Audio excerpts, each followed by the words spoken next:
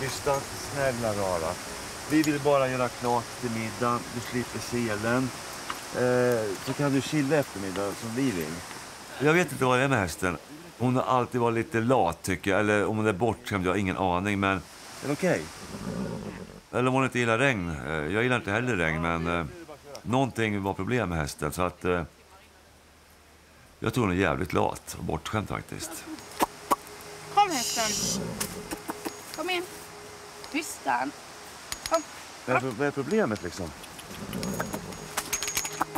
Kom.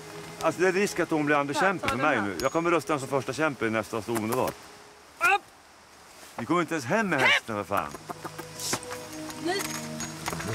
Bra, stanna inte nu då. Släpa runt den Amanda nu. Kom igen. Nej.